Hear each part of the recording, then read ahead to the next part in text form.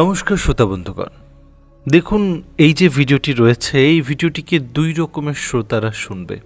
প্রথম শ্রোতারা, যদি তারা ওপরে ওপরে শুনে, সম্পূর্ণ শুনে কিন্তু আনমনা হয়ে শুনে, তাহলে তাকে লাগবে যে যা তথ্যগুলো এখানে বলা হয়েছে, সেগুলো আমি জন্ম থেকেই জানি।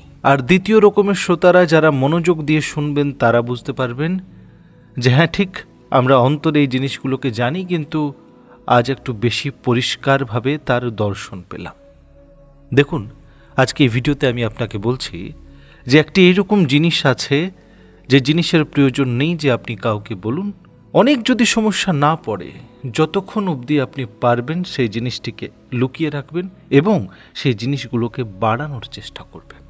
আর সেই জিনিসটি হচ্ছে আপনার পরিবার।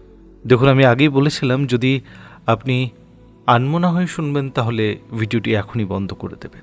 আর যারা এখন আমার সঙ্গে রয়েছেন তারা শুনুন যে পরিবার যে জিনিসটি হয়, সেই জিনিসটির মধ্যে অনেকে কিছু জিনিস লুকিয়ে আছে। এক পরিবার একা একা তৈরি হয় না। এক পরিবারে এক অংশ এইরকম থাকে যেটা হচ্ছে আমাদের পিতাদের অংশ। মানে পিতারা যে কুল, যে সমাজ থেকে এসেছেন। এক হয় মাতাদের অংশ। মাতাদের কুল এবং সমাজ যেখানে থেকে তিনারা এসেছেন, তার একটা অংশ থাকে। আরেকটি অংশ তৈরি হয় আমাদের ভাই বোনেদের অংশ। আর একটা হয়ে যায় আমি নিজে। যদি ভালো করে বুঝতে চান, তাহলে প্রত্যেকটি পরিবারের মূলত চারটি স্তম্ভ থাকে। এই চারটি স্তম্ভ আমি আপনাকে বললাম।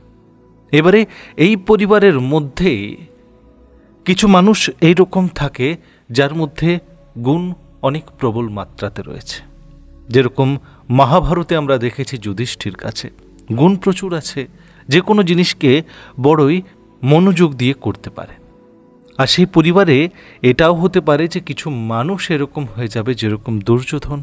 কিছু মানুষ অত বড় পরিবারের শৃঙ্খলাতে আসতেই পারে, কোনো কুলের থেকে, কোনো সমাজের থেকে, মায়ের দিক থেকে হোক, বাবার দিক থেকে হোক বা নিজের ভাই বোনদের দিক থেকে হোক। কেন কি প্রত্যেকটি পরিবারের সবই কিছু তো সমান থাকে না। আর যদি একটা পরিবার এরকম আছে যেখানে সব কিছু ভালো চলছে, তাহলে একটা নতুন রকমের গল্প আরম্ভ হয়। যে আপনার পরিবারে তো কেউ আছে যে অনেক উন্নতি করছে, অনেক ভালো কাজ করছে, আর আপনি সেই জিনিসগুলোকে বড়ই সহজভাবে পেয়ে গেছেন। আরেকটা গল্প এরকম আরম্ভ হয় যে আপনি যদি চেষ্টা করলেন নিজের জন্য কোনো জিনিস করার, নিজেকে অনেকে এগিয়ে নিয়ে যাওয়ার, যাতে আমি পরিবারের সহায়তা করতে পারি, আর তারপরে যদি আপনি বিফল হয়ে যান তাহলে এইরকমও সমাজ বলে যে পরিবারের সবাই ভালো শুধু এই ছেলেটি খারাপ বেরিয়ে গেল। এবারে চলে আসি সেই অংশতে যেটা আমি বলেছিলাম যে প্রয়োজন না পড়লে এই জিনিসের দর্শন কখনো করাবেন না, নিজের যতই কাছের মানুষ হোক তাকে। এই যে পরিবারের কথা আমি বললাম, এই পরিবারকে যতটা পারবেন অতটা বাড়ানোর, যতটা পারবেন অতটা উন্নত করার, যতটা পারবেন অতটা শক্তি দেওয়ার, যতটা পারবেন অতটা আধ্যাত্মিকের পথে সুন্দর করে নিয়ে যাওয়ার চেষ্টা করবেন এবং প্রতি মুহূর্তে আপনার লক্ষ্য যেন এটাই থাকে যে তাদের মন সবসময় ভালো থাকুক, তারা অর্থ সম্পত্তির দিক থেকে সবসময় উন্নত থাকুক, তাদের মধ্যে সম্পর্কগুলো সবসময় ভালো থাকুক এবং তারা ধর্মের দিক থেকে যেন সবসময় সৎ থাকুক।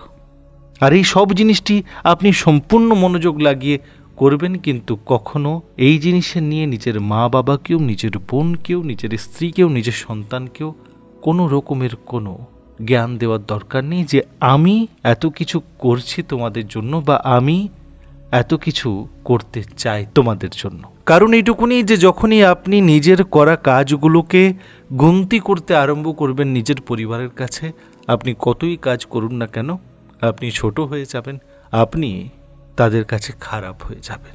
আর তার জন্য এটার বড়ই প্রয়োজন রয়েছে যে আপনি যতই কাজ করুন না পরিবারকে উন্নত করে দেওয়ার জন্য, সেই পরিবারকে সেই জিনিসের জ্ঞান বোধ করানোর কোনো দরকার নেই। ভিডিওটি কেমন লাগল জানাবেন কমেন্ট করে এবং ভালো লাগলে চ্যানেলকে করবেন লাইক, শেয়ার ও সাবস্ক্রাইব। জয় বাবা মঙ্গলকারী, লোকনাথ ব্রহ্মচারী।